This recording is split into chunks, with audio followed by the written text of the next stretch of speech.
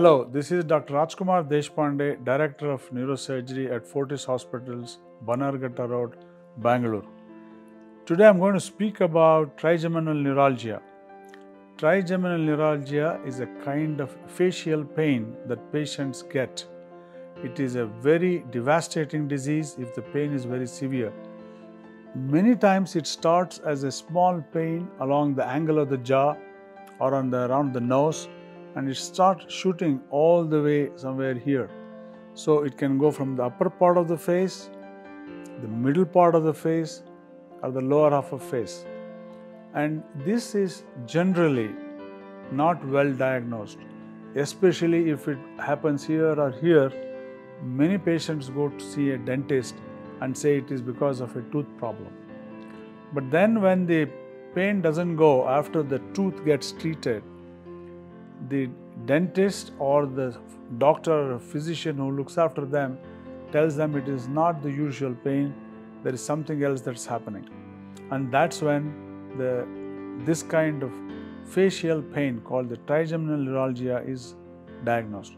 So, when they come to a neurosurgeon or a neurologist, and this kind of pain, which starts either from different parts of the face or starts from here and shoots down, we call it as tic douloureux or trigeminal neuralgia. And once that is diagnosed, for patients who have got mild to moderate pain, we can, we can treat them with medication. We give them specific medication, the pain comes down, and the patient can continue their lifestyles.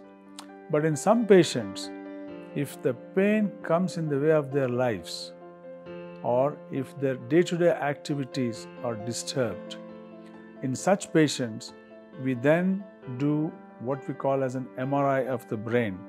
MRI of the brain shows us some interesting facts where the nerve which supplies this part of the face, called the fifth nerve, there are a dozen nerves on each part of the face coming from the brain.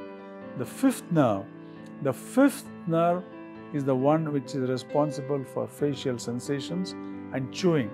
And that particular nerve, if it is hit by an abnormal artery, then that particular patient is likely to get this sort of a pain. And what we tell them is we'll go operate in the back of the head. We make a small opening at the back of the head here, and we go in and place a cushion between the nerve and the artery. And we place a cushion, a Teflon cushion, and the pain subsides. And this is a wonderful surgery. It's a straightforward surgery, and then the patient gets completely relieved. So, this is something I want to share about trigeminal neuralgia.